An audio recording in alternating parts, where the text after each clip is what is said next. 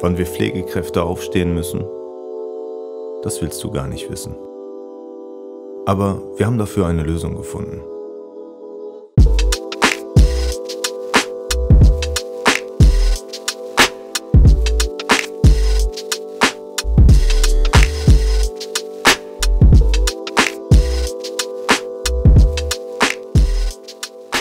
Ja, seid gegrüßt.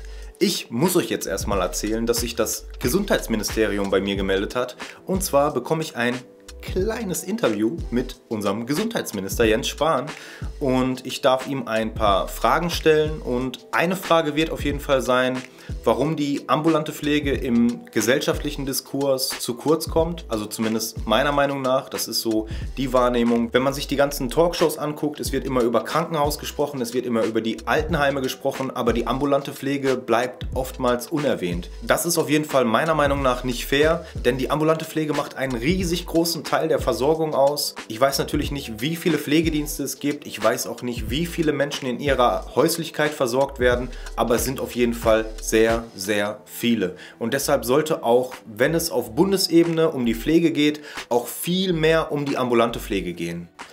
Ja, das ist auf jeden Fall eine Frage, die ich Herrn Spahn stelle. Ähm, was er von der Pflegekammer hält, die kommt ja jetzt nach NRW. Ich finde auch ein sehr spannendes und vor allen Dingen polarisierendes Thema. Es gibt ja da auch wirklich eine richtige Spaltung, wenn es um das Thema geht, weil viele Pflegekräfte sagen, hopp, hopp, hopp, Pflegekammer, stopp! Ich habe mir auf jeden Fall gedacht, ich gehe jetzt auch mal auf eine Pflegedemo. Also habe ich mich auf meinen Roller gesetzt, bin Richtung Landtag gefahren und alles weitere seht ihr jetzt.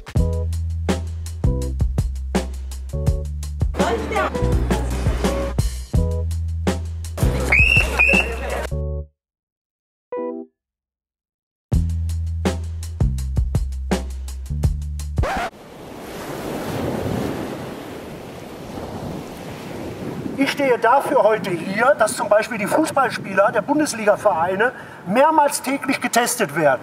Mehrmals täglich. Wir Pflegenden aber nicht. Laut Gesetz dürfen wir keine Wundauflage auftragen, die nicht vorher angeordnet wurde. Aber wer ordnet die Wundauflagen denn an? Ja, wir sind diejenigen, die die Ahnung haben von den chronischen Wunden. Wir sind diejenigen, die zu den Ärzten gehen und denen genau sagen, bitte hier deinen Willi drunter setzen, weil ich brauche Wundauflage X.